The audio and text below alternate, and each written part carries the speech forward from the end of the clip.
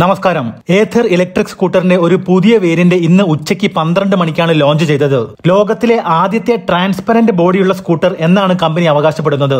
ഈ സ്കൂട്ടറിന്റെ പേര് ഏഥർ എപ്പെക്സ് എന്നാണ്. പിറകിലെ ബോഡിയിൽ മാത്രമാണ് ട്രാൻസ്പെറൻസി കൊടുത്തിരിക്കുന്നത്. വണ്ടിയുടെ ഓറഞ്ച് കളറോട് കൂടി വരുന്ന ഷാസി നമുക്ക് കാണാൻ സാധിക്കും.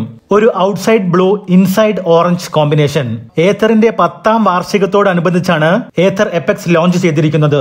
ഏഥറിന്റെ നിലവിലുള്ള വേരിയന്റ് വണ്ടികളിൽ പഴയ വണ്ടികൾക്ക് എൺപത് കിലോമീറ്റർ പെർ അവറും ഇപ്പോഴുള്ള വണ്ടികൾക്ക് തൊണ്ണൂറ് കിലോമീറ്റർ പെർ അവറുമാണ് ടോപ്പ് സ്പീഡെങ്കിൽ.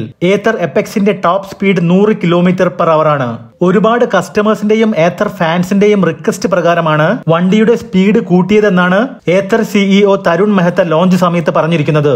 അതേപോലെ ഏത്തർ എപെക്സിൽ പരിചയപ്പെടുത്തിയ പുതിയൊരു മോഡാണ് വാർപ്പ് പ്ലസ് മോഡ് വാർപ്പ് മോഡിൽ തന്നെ ആക്സിലറേഷൻ അടിപൊളിയായിരുന്നു എന്ന് നമുക്ക് അറിയാവുന്ന കാര്യമാണ്. അതിനേക്കാളും ആക്സിലറേഷൻ ആണ് വാർപ്പ് പ്ലസ് മോഡിൽ കൊടുത്തിരിക്കുന്നത്.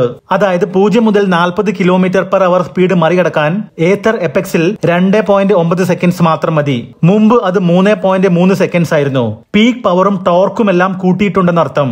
അതേപോലെ ഏത്തർ എപ്പക്സിൽ പരിചയപ്പെടുത്തിയ മറ്റൊരു ഫീച്ചറാണ് ഓൺലി ത്രോട്ടിൽ റൈഡ്. അതായത് ബ്രേക്ക് പിടിക്കാതെ ആക്സിലറേറ്റർ കൊണ്ട് മാത്രം വണ്ടി ഓടിക്കുകയും ആക്സിലറേറ്റർ മുന്നോട്ട് തിരിച്ച് വണ്ടി നിർത്തുകയും ചെയ്യാം. മാജിക് ട്വിസ്റ്റ് എന്നാണ് അവർ അതിനെ വിളിക്കുന്നത്. അഡ്വാൻസ്ഡ് റീജനറേറ്റീവ് ബ്രേക്കിംഗ് സിസ്റ്റം വഴി ആക്സിലറേറ്റർ മുന്നോട്ട് തിരിച്ച് ബ്രേക്ക് പിടിക്കാതെ തന്നെ മറ്റ് ഇലക്ട്രിക് വണ്ടികളിലും വണ്ടി സ്ലോ ഡൗൺ ചെയ്ത് പതുക്കെ നിർത്താൻ സാധിക്കാറുണ്ട്. ഒരു ടെസ്റ്റ് റൈഡ് ചെയ്യുന്ന സമയത്ത് ഓലയിൽ ഞാൻ അത് പരീക്ഷിച്ചതാണ്. ഓലയിൽ അങ്ങനെ എനിക്ക് നിർത്താൻ സാധിച്ചിരുന്നു. പക്ഷെ പെട്ടെന്ന് നിർത്താൻ പറ്റില്ലെന്ന് മാത്രം. പക്ഷേ ഏത്തർ സിഇഒ തരുൺ പറയുന്നത് എപ്പക്സിൽ റീജനറേറ്റീവ് ബ്രേക്കിംഗ് സിസ്റ്റം ഉപയോഗിച്ചല്ല വണ്ടി നിർത്തുന്നത് എന്നാണ്. പകരം പവർ ട്രെയിൻ ടെക്നോളജി വഴിയാണെന്നാണ്. അതുകൊണ്ട് തന്നെ റീജനറേഷൻ വഴി ആക്സിലറേറ്റർ മുന്നോട്ട് തിരിച്ച് വണ്ടി നിർത്തുന്നതിനേക്കാൾ സാധാരണ വണ്ടികളുടെ ബ്രേക്ക് പിടിച്ച് നിർത്തുന്നത് പോലെ മാജിക് ട്വിസ്റ്റ് വഴി ആക്സിലറേറ്റർ മുന്നോട്ട് തിരിച്ച് വണ്ടി നിർത്താൻ സാധിക്കും എന്നാണ് പറയുന്നത്. എന്തായാലും വണ്ടി ഓടിച്ചു നോക്കി അനുഭവത്തിൽ കൂടി മാത്രമേ ഇത് എത്രത്തോളം വിജയകരമാണെന്ന് നമുക്ക് പറയാൻ സാധിക്കുകയുള്ളൂ. ഇനി വണ്ടിയുടെ ഡിസൈന്റെ കാര്യത്തിലേക്ക് വരുമ്പോൾ കാര്യമായ മാറ്റങ്ങൾ ഒന്നും തന്നെ സംഭവിച്ചിട്ടില്ല. പക്ഷേ ഏത്തർ എപ്പെക്സിൽ ബെൽറ്റിന് കവർ കൊണ്ടുവരാൻ അവർക്ക് സാധിച്ചിട്ടുണ്ട്. മഴക്കാലത്ത് ചെളിയെല്ലാം ബെൽറ്റിൽ കയറി ശബ്ദം വരുന്നതിനും ബെൽറ്റ് പൊട്ടുന്നതിനും ഒരു പരിധിവരെ ഈ ബെൽറ്റ് കവർ ഉപകാരപ്പെടുമെന്നാണ് വിശ്വസിക്കുന്നത്. അതേപോലെ റേഞ്ചിൽ ചെറിയൊരു വർധനവ് കൊണ്ടുവരാൻ ഏത്തർ എപ്പെക്സിൽ സാധിച്ചിട്ടുണ്ട്. നൂറ്റി അമ്പത്തിയേഴ് കിലോമീറ്റർ ആണ് ഐ ഡി സി റേഞ്ച് പറയുന്നത്.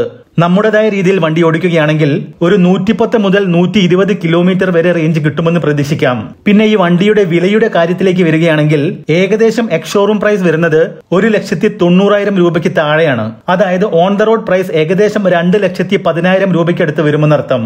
സാധാരണ ഏതൊരു കമ്പനി വില പറയുമ്പോഴും ഫെയിം ടു സബ്സിഡി കുറച്ചതിന് ശേഷമുള്ള വിലയെ പറയാറുള്ളൂ.